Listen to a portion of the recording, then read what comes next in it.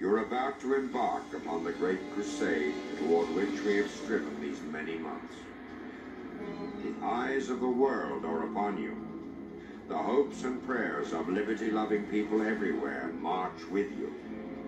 In company with our brave allies and brothers in arms on other fronts, you will bring about the destruction of the German war machine, the elimination of Nazi tyranny over the oppressed peoples of Europe, and security for ourselves in a free world.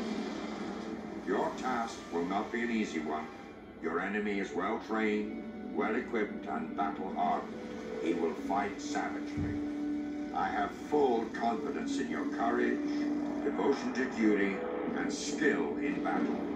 We will accept nothing less than full victory. Good luck. And lest us all beseech the blessings of Almighty God upon this great and noble undertaking.